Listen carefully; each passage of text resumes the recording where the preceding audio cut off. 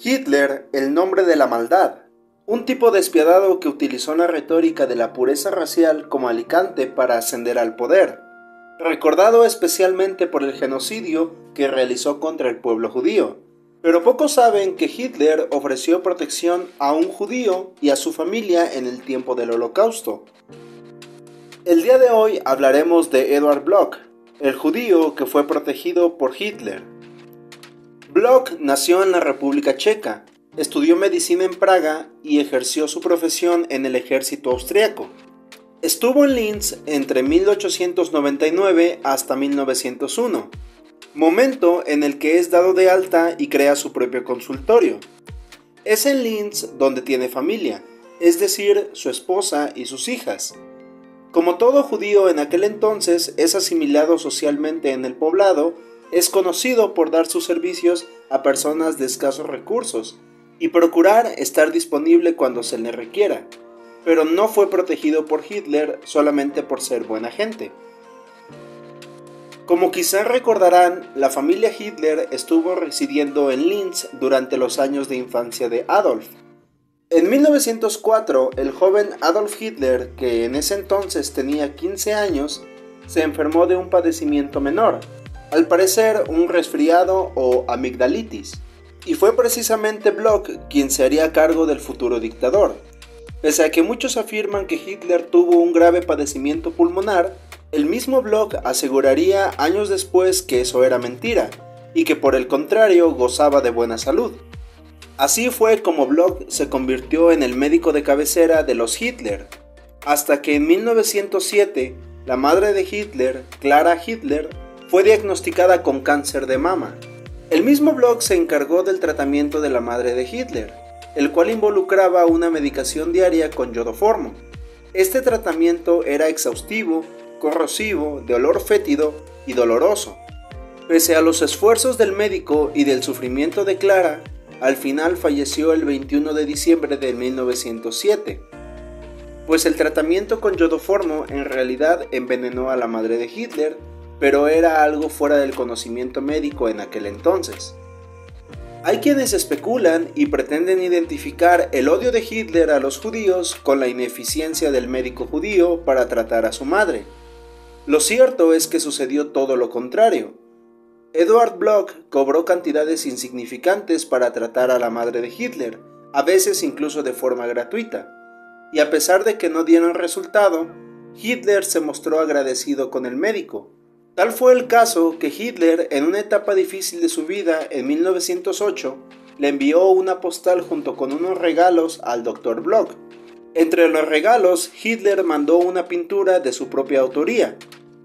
Muchos años después, cuando Hitler ya se encontraba en su puesto de poder, en 1937, llegó a preguntar y solicitar protección a Bloch, llamándolo Edeljud, o sea, judío noble. También hay indicios de que Bloch sentía simpatía por los Hitler, si bien para nada simpatizaría con los ideales del partido nazi. ¿Cómo podría hacerlo si él era judío? El antisemitismo se estaba propagando por toda Europa, y particularmente por Alemania, y cuando el partido nazi se consagró en 1933, las cosas para los judíos parecían más difíciles. Pero por el momento los Bloch no se preocupaban, ya que vivían en Austria, lejos de la sombra nacional socialista. Sin embargo, una vez que Hitler y el partido nazi llegan al poder, comienzan los cambios políticos y sociales. En marzo del 38, Austria es anexada a la Alemania nazi, y todos los judíos que hasta ese entonces habían sido bien recibidos en el país, comenzaron a vivir la presión y el ataque por parte de la ideología nazi. La amistad entre Hitler y Edward se mantenía intacta, e incluso un año antes de la anexión de Austria a la Alemania nazi, le había mandado una postal y había comentado, si todos los judíos fueran como él, no habría una cuestión judía. Bloch tuvo que abandonar la práctica médica en octubre de ese año y planeó emigrar al extranjero junto con su hija y su yerno. Para lograr su cometido, Edward Bloch, de 66 años, envió una carta a Hitler pidiéndole ayuda. En respuesta, y como muestra del aprecio y lealtad que Hitler le profesaba, Bloch y su familia recibieron una protección especial por parte de la Gestapo. Ningún otro judío recibió un trato similar en Linz. La familia Bloch no fue molestada, permanecieron en casa sin recibir algún tipo de agresión, hasta que se resolvieron las formalidades para poder partir al extranjero. E incluso cuando concluyó el proceso pudo vender su casa a un precio de mercado, y no a precios abusivos a los que otros judíos tuvieron que vender sus bienes. Edward Bloch, el médico judío, partió a Estados Unidos facilitado por las autoridades nazis. Llegó a Nueva York, donde de vez en cuando era interrogado por los servicios de inteligencia estadounidenses para conocer más sobre la infancia de Hitler. En 1941, la revista Collier's Weekly publicó un artículo titulado Mi paciente Hitler.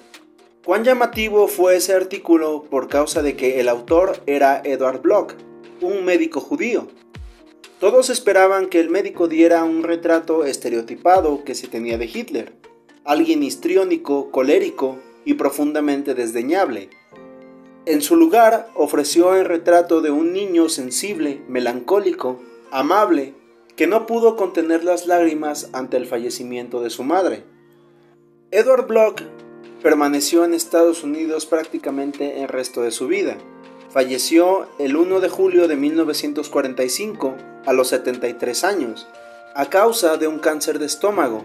Para ese entonces la Segunda Guerra había finalizado y Hitler, su joven paciente, ya se había quitado la vida en un búnker. Si el video te gustó, regálame un enorme like, suscríbete si aún no lo has hecho y activa la campanita de notificaciones.